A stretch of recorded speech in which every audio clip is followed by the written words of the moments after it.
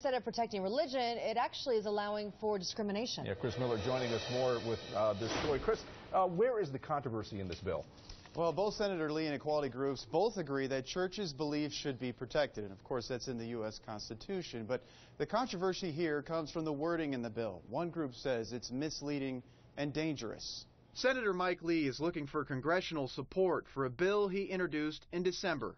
He says it protects individuals or religious groups against penalty because they support traditional marriage. In other words, we don't want a church having its tax exempt status removed simply because it recognizes marriage as a sacred institution between a man and a woman. NFL punter Chris Kluwe claims he was dropped by the Vikings last week because of his outspoken support on gay marriage. According to some, Senator Lee's bill could be used as protection for incidents of discrimination.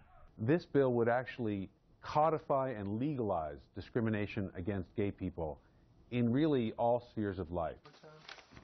Cliff Rosky, law professor at the University of Utah and outspoken chairperson of Equality Utah, says Lee's bill allows a lot of latitude because the bill uses person as its language instead of religious institution.